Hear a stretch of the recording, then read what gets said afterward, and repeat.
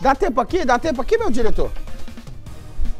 Olá, Nico. Tudo bem? Tudo jóia? Sou eu de novo, Ruth Cardoso de Toflotone. Ma Nico, manda um abraço para minha sobrinha Agnes, que hoje completa três aninhos. Ela é a luz da nossa família, que Papai do Céu ilumina a vida dela. Nico, não perca o BG, você são nota mil. Um beijo para Agnes, a sobrinha querida, e para Ruth Cardoso, lá de Teófilo Otoni. Próxima! Aí, ó, encontrou as feras. A dupla de feras. Rodney Ferreira e Gisele Ferreira. Boa tarde, família do BG.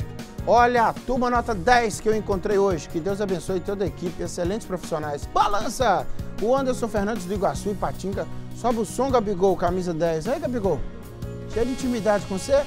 É, sobe o som, Gabigol, camisa 10. Olha lá ele. É.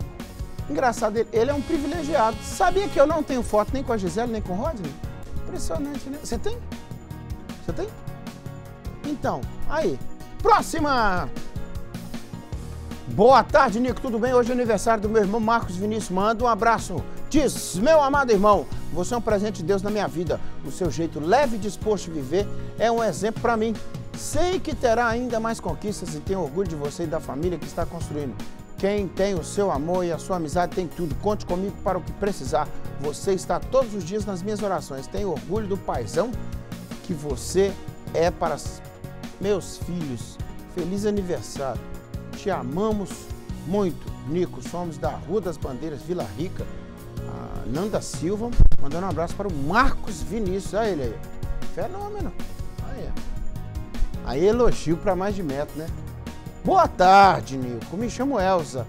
Moro no bairro Granjas Vagalume, Ipatinga. É a primeira vez que eu ouço falando Granjas Vagalume. Sou fã do Balan Geral. Manda um abraço pro meu sobrinho, repórter Miguel Brás.